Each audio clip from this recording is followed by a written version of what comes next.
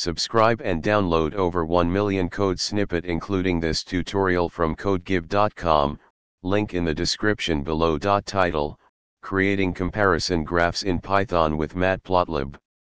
Introduction Data visualization is a powerful tool for conveying information effectively. In this tutorial, we will explore how to create comparison graphs in Python using the Matplotlib library. Matplotlib is a popular plotting library that allows you to generate a wide variety of plots and charts. Prerequisites Make sure you have Python installed on your system. You can install Matplotlib using the following command. Code example. Let's create a simple comparison graph to visualize the performance of two teams over different matches. For this example, we'll use randomly generated data. Explanation Importing libraries, import matplotlib and numpy for data manipulation. Generating sample data, create an array of matches and generate random scores for two teams. Plotting the data, use plt.plot, to create lines for each team's scores.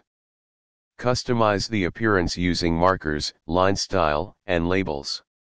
Adding labels and title, include labels for the x and y axis, and a title for the graph.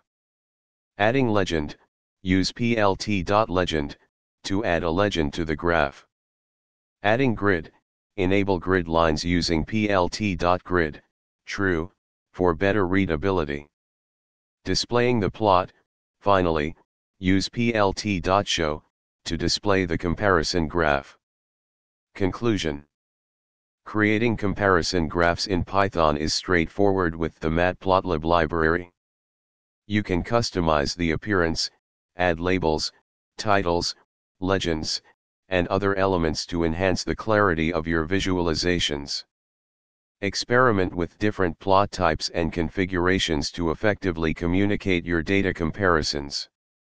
ChatGPT